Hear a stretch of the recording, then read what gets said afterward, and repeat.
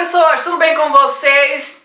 Para quem não me conhece, muito prazer, eu sou Nadia Araújo. Estamos de volta com mais um Contando Sua História, que é o quadro onde as meninas enviam seus e-mails com suas histórias dos Boy Magia das Arábias. Se você quiser participar, manda um e-mail. Não se preocupe que sua identidade será preservada. E hoje eu estou bem acompanhada, né? Vocês já estão vendo um aqui e já tem outra aqui, ó. Vamos ver se eu consigo fazer alguma coisa com essas duas criaturas por aqui nos acompanhando, tá? Vamos lá, sem mais demoras, vamos lá a nossa história. Ok? Vamos lá. Bota. Não fez, me ajude. Ok, vamos lá. A nossa Maria, ela diz o seguinte. Olá, Nani, tudo bem? Sim, Maria, tudo muito bem. Estou aqui muitíssimo bem acompanhada. Tô com uma calopsita, tô com uma agapornis aqui, pedindo a Deus que eles não voem ao longo da gravação, mas vamos embora. Bom, vou tentar encurtar a minha história. Conheci o Muhammad Ali. Não, o nome do cara não é Muhammad Ali. Mas como tem tanto Muhammad no, no mundo árabe, né? Tô já botando aqui o nome dos boys de Muhammad. Ela conheceu o, o cara aqui em 2014. Na época, eu tinha 50 anos e ele tinha 38. Ele viu uma foto minha de rosto no Google Mais e dali em diante era só enviando mensagens o dia inteiro. Eu não sou muito afeita a conversar com gente que eu nunca vi, não conheço. Mas ele insistiu tanto que começamos a conversar. Eram conversas rápidas pela manhã e de noite. Até que ele começou a prolongar a, as nossas conversas por telefone, pois eu não suporto ficar digitando muito tempo. Eu não queria nada com ele, só que ele soube ir me conquistando, pois não me pedia dinheiro, nem fotos quentes, nada. E aqui eu já venho com meu primeiro comentário. Minha gente, não adianta pagar pra ver, tá? As meninas vai, vão nessa de, não, eu, vou, eu, não tenho, eu não quero nada com ele, é só amizade, vou seguindo. Não paguem pra ver, porque no final a conta sai cara. No final a fatura não cabe no teu bolso. E a única pessoa que vai se lascar são vocês, tá? Então não paguem pra ver. Com, com isso aqui não se brinca. Prossigamos aqui. Até o dia que ele tentou fazer uma videochamada e eu, tímida e desconfiada, não aceitei. Ele perguntou por que eu não aceitei e expliquei. Ele, muito calmo, falou que só queria me ver. Eu, que nunca tinha feito uma videochamada, fiquei um tanto nervosa, mas abri a câmera e ficamos ali nos olhando por um tempo. E isso virou rotina. Nós conversávamos em inglês e troca, trocamos várias ideias, fotos do Egito, fotos do Brasil, fotos minhas só do ombro para cima, pois pela minha fé eu jamais me investiria com decotes ou coisas desse tipo. Graças a Deus, uma Maria com juízo no lugar. Né? Graças a Deus, uma Maria que não fica abrindo as pernas, uma Maria que não fica com decote lá no umbigo, insinuando pro cara. Então, eu tenho que dar os parabéns para ela aqui, porque nisso aqui ela se impôs direitinho, tá? Parabéns para ti, Maria. Ele me enviava mensagem de amor, apoio, etc. Porém, um dia ele disse que era casado. O que é choque pra gente que mora aqui no Brasil, que não tem né, essa cultura de poligamia, para ele é completamente normal, porque lá no Egito a poligamia é permitida. Então ele ser casado e tá de conversinha com outra mulher, conversinhas puxando pro lado romântico da coisa, para ele é absolutamente normal. Eu desliguei na cara, achando que tinha acabado por ali. Nada. Ele continuou me ligando até que eu quisesse atender. Eu estava gostando dele. Lembra que eu falei que não era para pagar para ver? Lá em cima tu falou, eu não queria nada com ele. É, frases depois, tu já diz aqui, eu estava gostando dele.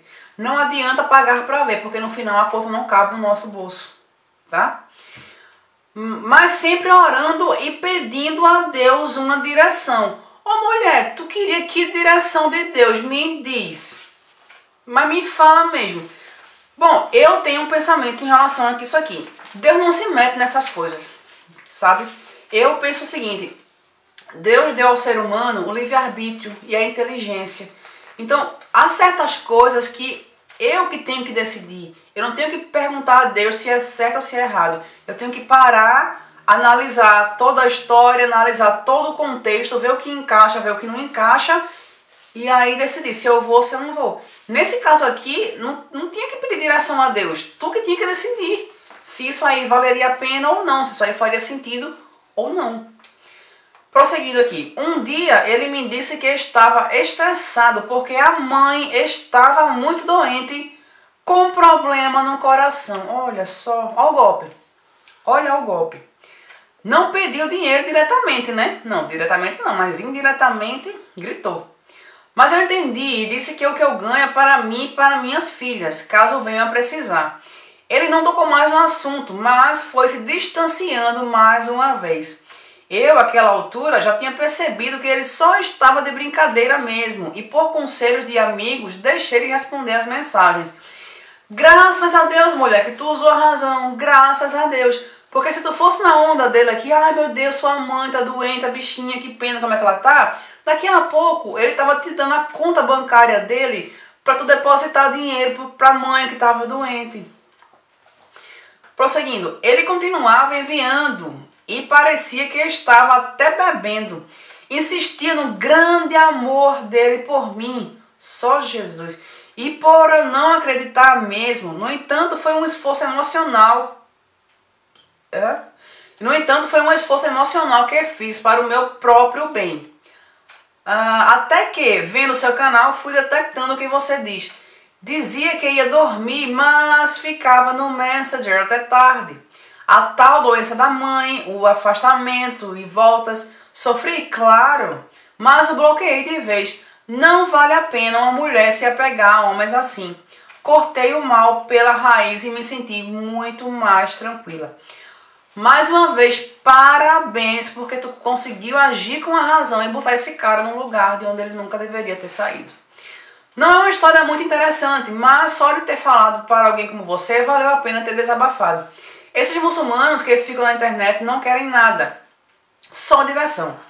Para conhecer alguém, para conhecer alguém só pessoalmente. E nem isso tenho feito há alguns anos. Me ocupo com a família, atividades na igreja e gosto da minha companhia. Beijos, Maria. É, eu tenho dois comentários aqui. Ah, primeiro que, que ela fala o seguinte, esses muçulmanos que ficam na internet, a, a, o X da questão aqui não é a religião do cara, não é a religião em si. O problema não está na religião. Tem muçulmano gente boa? Tem.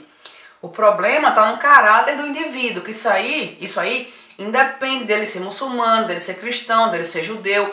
A gente fala muito aqui em muçulmano porque é mais o foco do canal. É mais as histórias das brasileiras com os camaradas lá do, do, do Oriente, que em sua maioria são muçulmanos. Mas não é que o, o ser muçulmano seja o problema. Não.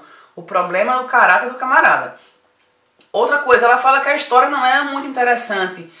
Não é questão de ser interessante, mas é uma história que vai servir para a mulherada ver que existem mulheres inteligentes que, apesar de até certo ponto se deixarem levar pelos encantos dos boy magia, mas dá sim para parar, pensar, analisar e ver que o negócio não está certo e parar por ali.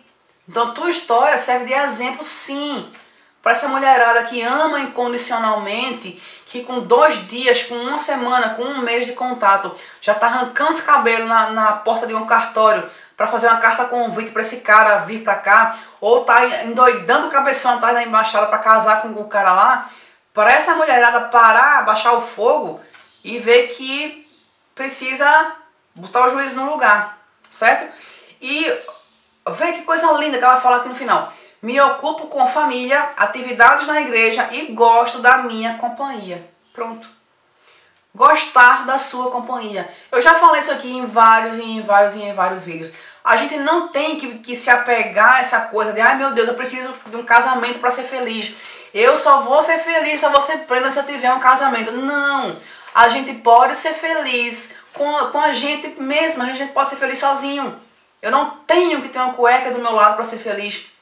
Se eu tiver uma cueca do meu lado, vai ser bem-vinda. Se for uma cueca que vale a pena. Porque não adianta eu estar tá casada só para dizer que eu estou casada e tá com um encosto do meu lado, só dando problema, só dando nó cego, tá? Então é isso, meninas. Maria, muito agradecida por ter compartilhado a tua história. Para quem ficou até o final, meu muito obrigada também. E a gente se vê no próximo vídeo e nos comentários. Tchau!